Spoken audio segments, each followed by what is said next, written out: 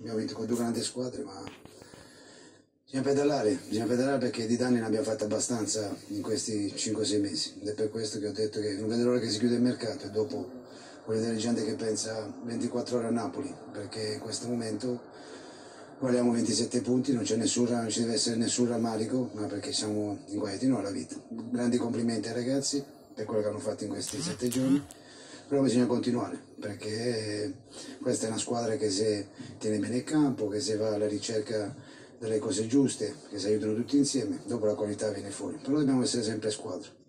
Come l'hai costruita la partita di questa sera, la squadra di questa sera, soprattutto il gruppo di questa sera?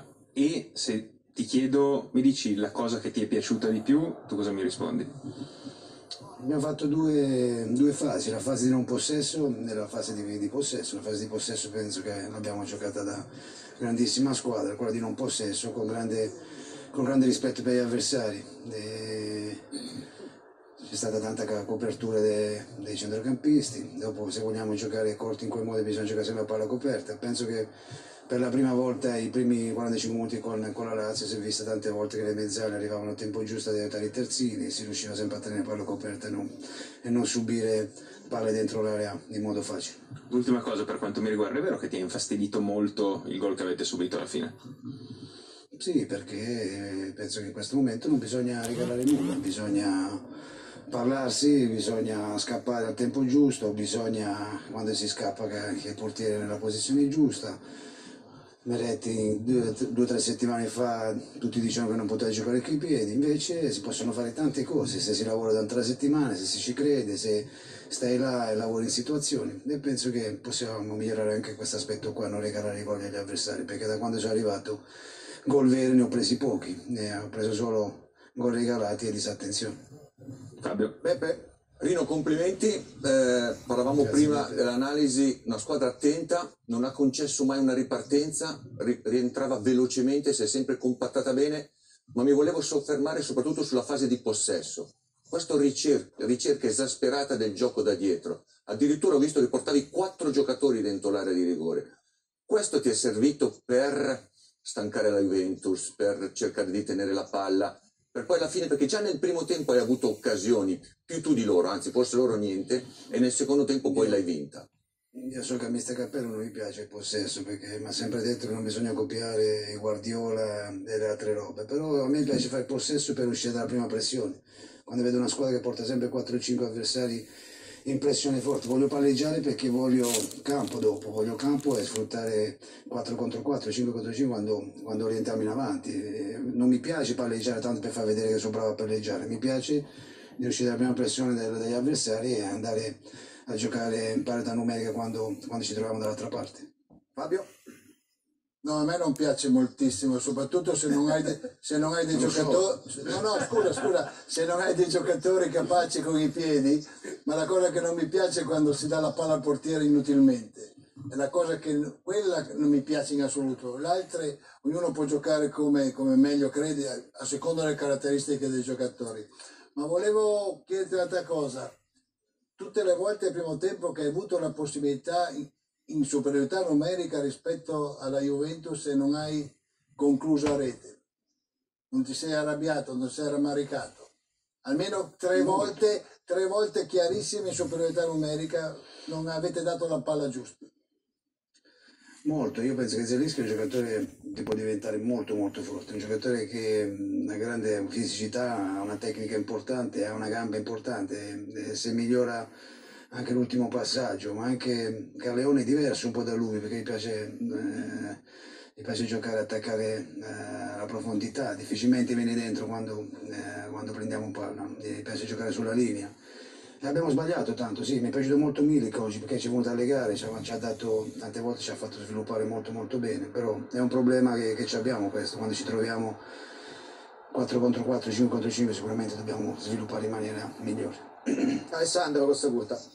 Sì, no, credo abbia già detto tutto. In realtà io volevo parlare anche della, del discorso della palla coperta, perché in effetti io credo sotto questo aspetto Rino dato una grossa questa cosa della palla coperta. Ah, ti, ti trovo su di. Credo, sì, sì, no, no, palla coperta, credo Rino, Sì. prego. No, no, ma La tua Rino, spiegala, vai.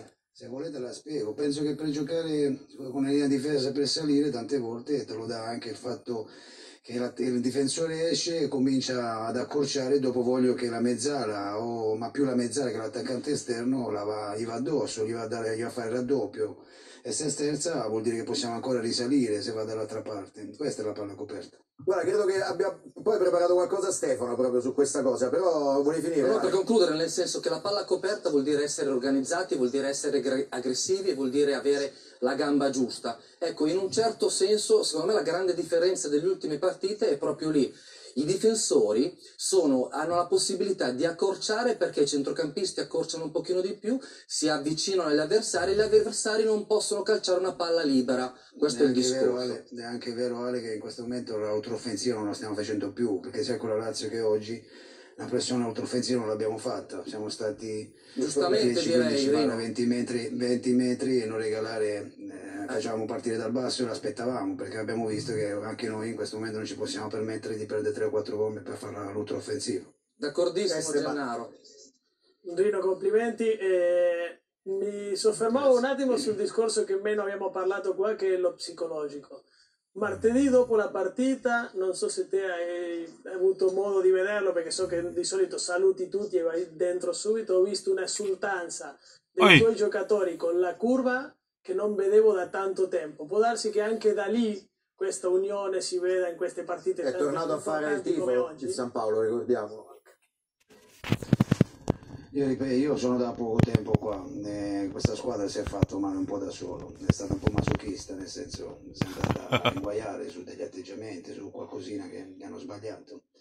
E dopo, adesso sta a noi riportare l'entusiasmo, sta a noi far ricantare la gente, riempire questo stadio. E lo stadio si può solo riempire con i risultati e con bel gioco. E con grande serietà.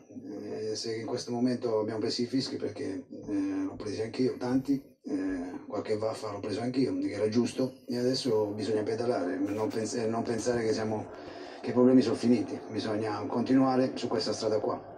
Ma che obiettivo ti poni adesso, Rino? No, la giornata, perché non mi fido ancora, non mi fido, eh, spero di recuperare i giocatori che, mancano perché sono giocatori importanti e dopo so che è una squadra forte, però non deve mancare veleno, la voglia di stare là, di giocare certe volte da provinciale, eh, pensare nelle due fasi, perché una fase secondo me ce l'hanno, l'hanno capita molto bene, l'altra un po' ancora si può fare meglio. Non si è mai fidato di nessuno, tant'è che quando la palla andava a Pirlo, lui andava a coprirlo perché pensava. eh, non si è mai fidato di nessuno. Che adesso la, per- la perde. Ok, la perde, la perde, la perde, invece eh, Andrea. Grazie Rino. Grazie a voi, buon lavoro. Ciao Rino. Ciao. Secondo me ha detto una cosa importante che non può essere un caso che il Napoli torna a giocare bene e a vincere nelle partite con le squadre più forti, Lazio, Juve.